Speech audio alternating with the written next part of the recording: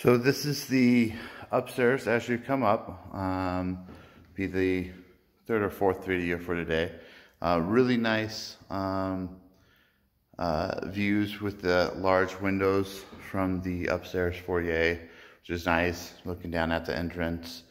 Uh, as you come up the stairs, uh, if you take a right, you're heading to the um, uh, two bedrooms up here. Um, that's not the master.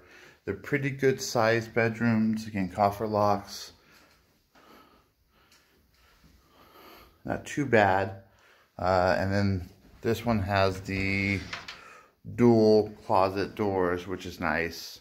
Um, gives a little bit more space. And then across from that one is the second bedroom, about the same size and same layout. Uh, the woodwork looks all pretty good uh, throughout the home. You do have a bathtub with the single sink up here, um, which is um, could be upgraded to a dual sink. But also what I like down um, over by the rooms is this extra bonus room or kids room. Um, it's quite big, as you can see. Um, has a little sink in it, uh, which is nice. And then both of those, that door there, and then that door there uh, just has extra storage area uh, in the peaks for the, the home itself. But uh, very nice size room, nice built-ins. This looks like this is set up for a TV. Um, and then you have this the little sink there, and the little cutout over there. So it's a good kind of bonus room. Carpet in this room, again, looks really, really nice. I don't know, it looks like it's almost never been used um, a whole lot.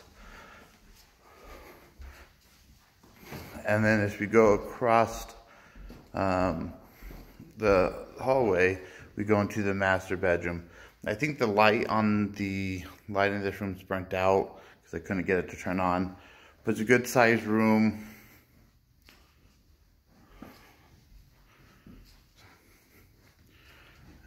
Kind of your views from your bedroom.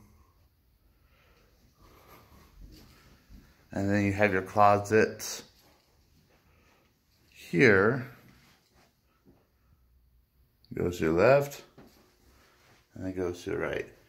So closet wise, uh, it's pretty good size. I would say it's probably eight feet by five feet. So um, pretty, pretty good size. And then you go into your master bathroom, which is very nice. Um, you have your dual sinks, dual vanities. Um, looks like the original bowls, but they've upgraded the faucets maybe.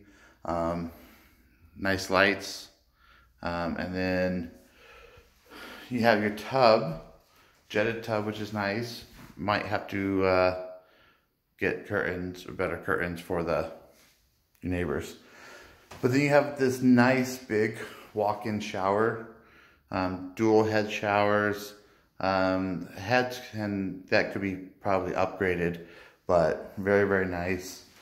And then around the corner, you have the loo. So that's the upstairs um, portion of the home.